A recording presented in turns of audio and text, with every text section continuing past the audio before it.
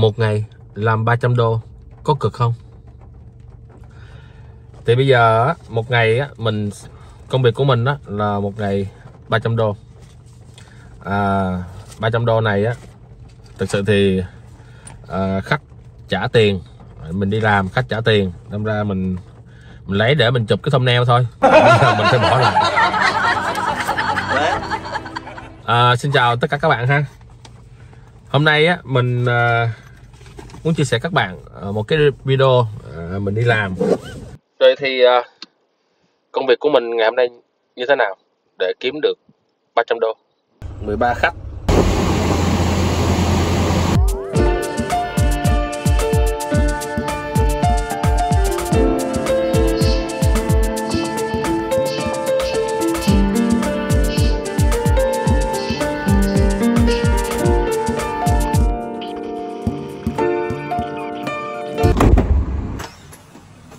Rồi, anh kiểm nha Sushi AT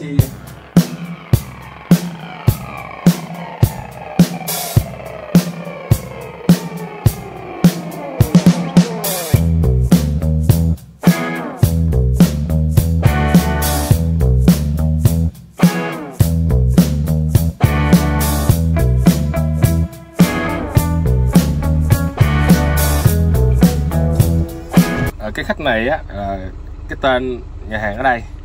À, các bạn thấy là họ sẽ order à, ba à, món nhưng mà mình không có quan tâm là họ order cái gì. Ở đây thì mình chỉ để ý là à, có 7 thôi số lượng tổng cộng là 7 7 đây là 7 thùng ha hoặc là 7 món. Ok rồi mình chỉ lấy xuống đúng 7 món thôi. Ở đây thì cái khách hàng này á mình đã để sẵn rồi. 1 2 3 4 5 6 thùng này là 6 và cái thùng thùng này nữa là 7 tổng cộng là 7 thùng.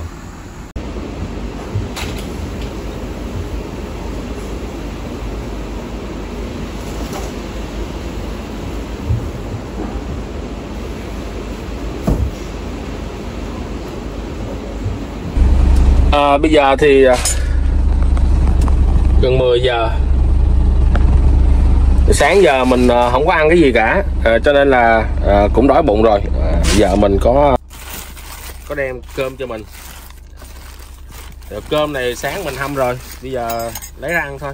Làm cơm với lại khá kho à, cá kho ba sa cá ba sa kho ha. Tranh thủ ăn miếng cơm các bạn. Tại vì à, mình ăn à, phần cơm này xong á thì à, mình chạy luôn cho tới xong việc thì thôi à, nhiều lúc lúc trước á à, mình không có mình không có đem cơm á. Tại vì thực sự thì à, một phần cũng làm biến chứ không phải là à, xiên gì. Lúc trước thì không có không có đem à, không có đem cơm đâu. À, mình à, chạy nguyên một ngày luôn. Mình không có ăn uống gì cả. Cho nên là nhiều lúc đói bụng á đói bụng quá trời đói bụng mà đôi khi mua đồ ăn thì cũng được nhưng mà ngồi mình mình ăn cơm á hoặc là mình ăn đồ ăn á mình à, mất hết 10 15 phút. Bình thường á ừ, những cái ngày mà giờ mình nghỉ ở nhà thì còn có thể thông thả ăn chút. À, giờ mình sẽ đón hai đứa nhỏ. Còn những cái ngày mà giờ mình đi làm á hai vợ chồng cùng đi làm á thì mình phải à, cỡ nào mình cũng phải chạy nhanh về mình đón hai đứa nhỏ trước 3 giờ. Cho nên nhiều lúc là không không có ăn cơm. Với lại cái lên của mình á là nó cần đi sớm. Là những người khách người ta cần sớm. Trong ra là mình phải tới cái trước cái giờ của họ.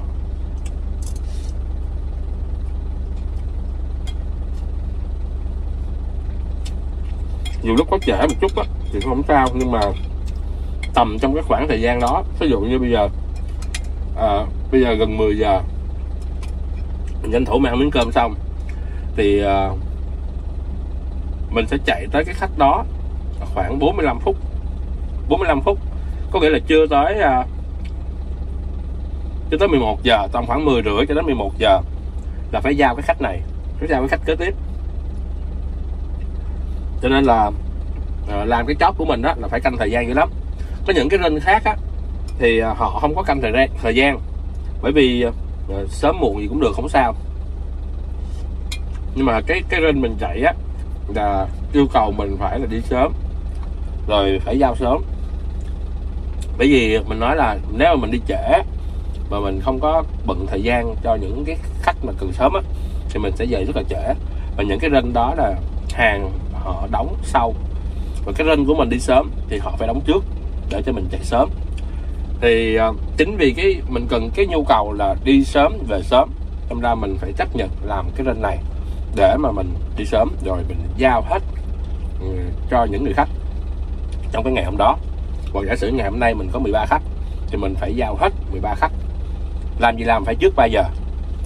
À, thông thường thì cái rinh của mình chạy á à, mình giờ sớm là 12 rưỡi cho đến 1, 1 giờ.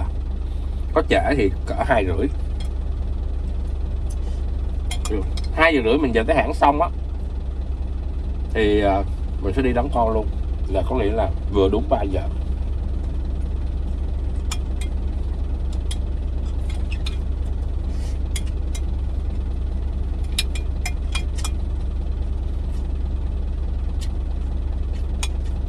Mình cá ba sa các bạn. Cá ba sa này á, là nhập ở bên Việt Nam qua. Cái cá này đó họ làm sạch rồi. À, họ đóng đá và họ hút chân không từng con cá. Họ bỏ trong đá.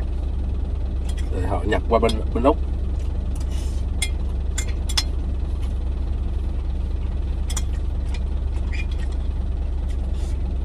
Thực sự thì chỉ thỉnh thoảng đó, muốn ăn cái Việt Nam đó, thì mình ăn cái này thôi. Ngoài ra thì ngoài cá xa ra thì bên Việt Nam có nhập qua cá kèo. Và cũng đông đá thôi à.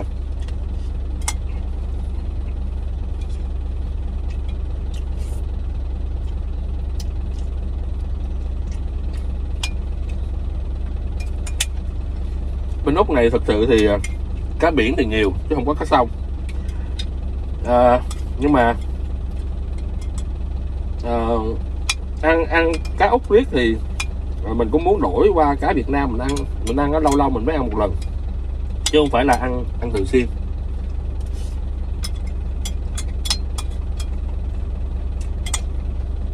Bây giờ cá ba sa Việt Nam mình theo mình mình thấy là toàn nuôi công nghiệp không à ở bên Việt Nam á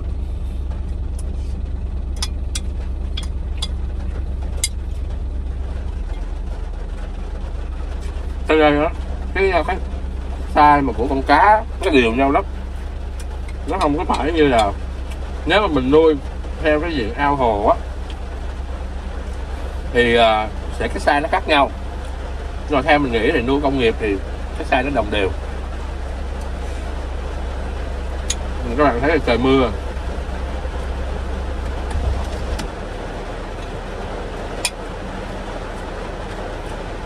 Cái giao hàng chạy ngoài đường á. Mà trời mưa thì các bạn biết rồi, cực dữ lắm. Mà mình có áo mưa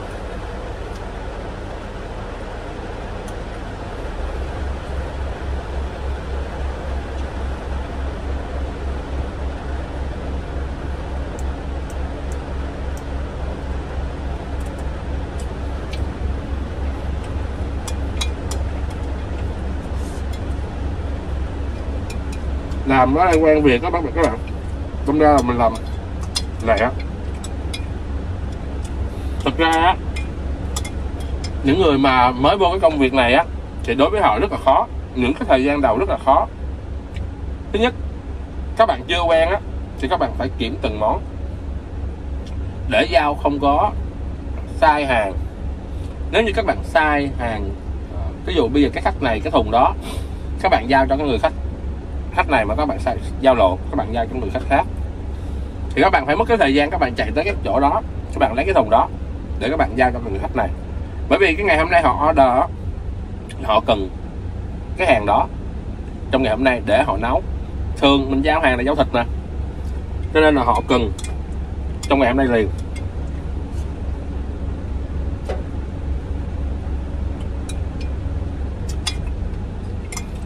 Mỗi một cái thùng đó, nó có một cái label riêng của tên của khách của khách đó.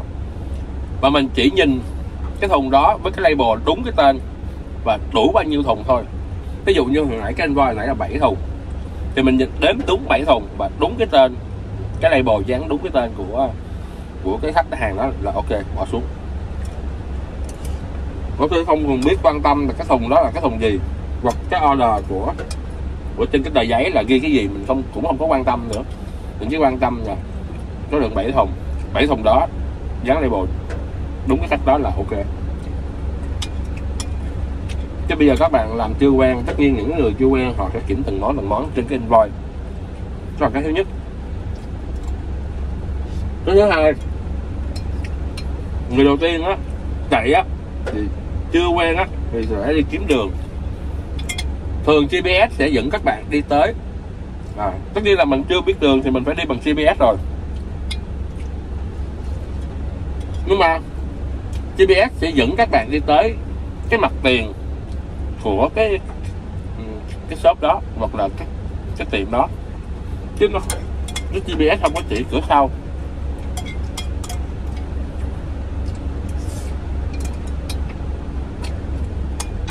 Khi mình tới á, có những chỗ không có chỗ đậu sâu chắc các bạn phải đi kiếm chỗ đậu sâu chắc đó là điều thứ nhất.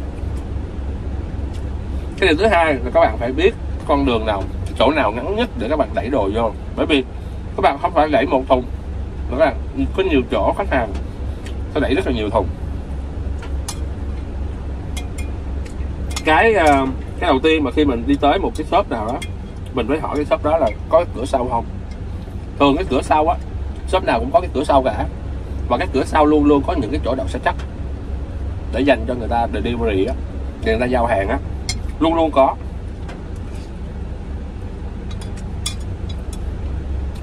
Và sẽ thuận tiện hơn cho những người giao hàng. Cho nên thường, khi mình đi giao hàng, luôn luôn hỏi cửa sau, nếu như lần đầu tiên mình tới cái chỗ đó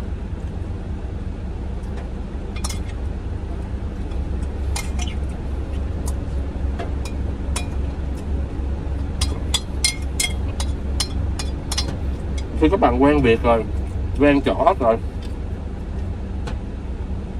quen đường đi rồi, tự động, các bạn, ví dụ 13 cái roi này, mình biết cái chỗ nào đi trước, cái chỗ nào đi sau. Mình quen rồi thì mình dễ sắp xếp lắm.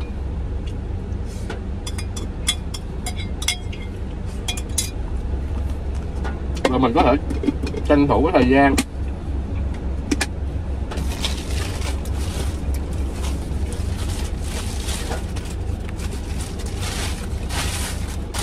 trước nữa chạy á, hầu như là mình không ăn luôn. Không ăn. Nhưng mà cách đây cũng mấy năm trước rồi, mình không có ăn. Mình chỉ biết mình chạy thôi. Bởi vì cái thời gian đó là mình cực kỳ ốm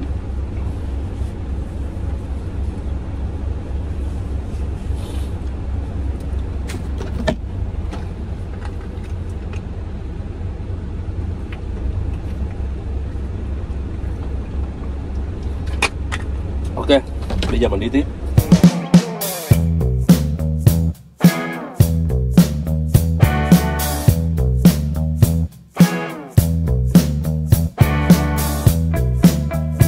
Bây giờ thì mình à, tiktok của mình sẽ đi vô cái à, cửa sau của cái nhà hàng tàu đó.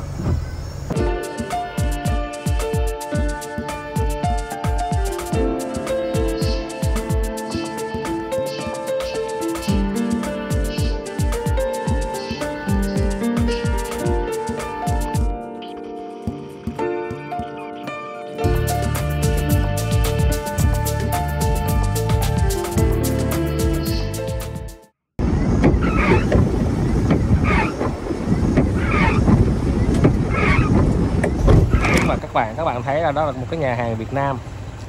À, nhà hàng này bán rất là đắt rất là đắt luôn á. Hầu như là người úc họ tới đây họ ăn rất là nhiều tây úc à. Nhưng mà các bạn thấy là cái cửa cái đó là cửa bây giờ dán không hồi trước là cửa kiến. Các bạn biết vì sao mà bây giờ nó là cửa bán không? Là bởi vì á à, mấy cái người à, da đen á vừa rồi mình hỏi là chủ tiệm đó cái chị đó chỉ nói là à, mấy cái tụi đen á gọi là à, buổi tối á, nó đập cái cửa.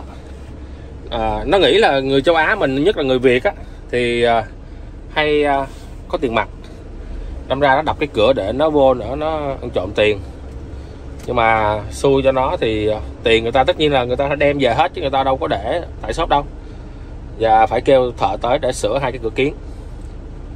Rồi tiếp tục chạy tiếp.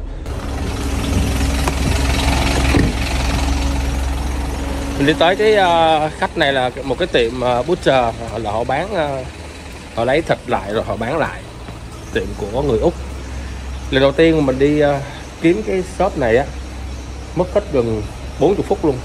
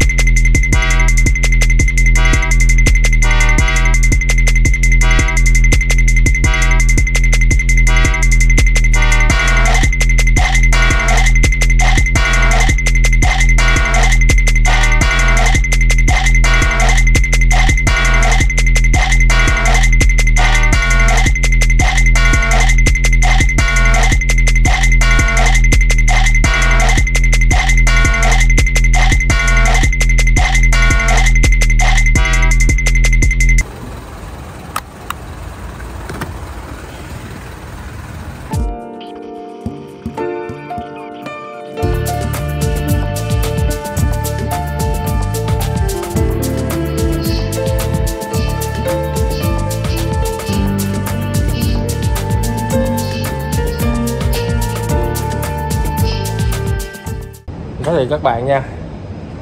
À, khách của cái shop này á là người Việt Nam. Nhưng mà bao nhiêu người tài xế giao hàng cho cái chị này rồi. Mà có vẻ như chị này chỉ không có happy lắm bởi vì thấy trễ quá. Chỉ có mình mình mới chịu được bả thôi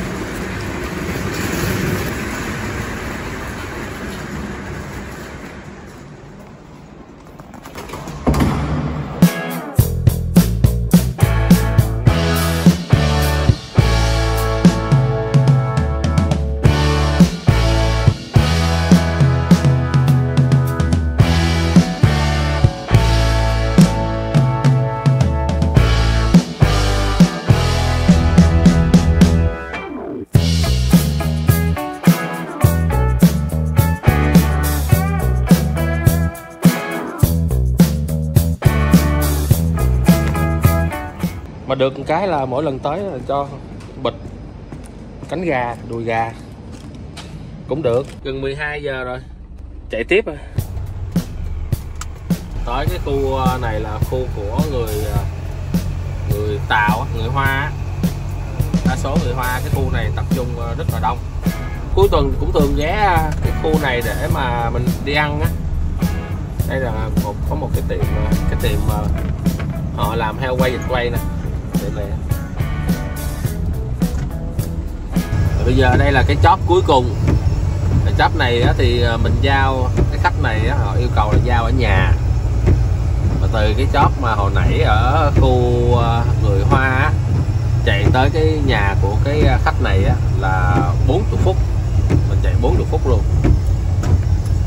Giờ đi tới cái khu nhà của cái người khách này.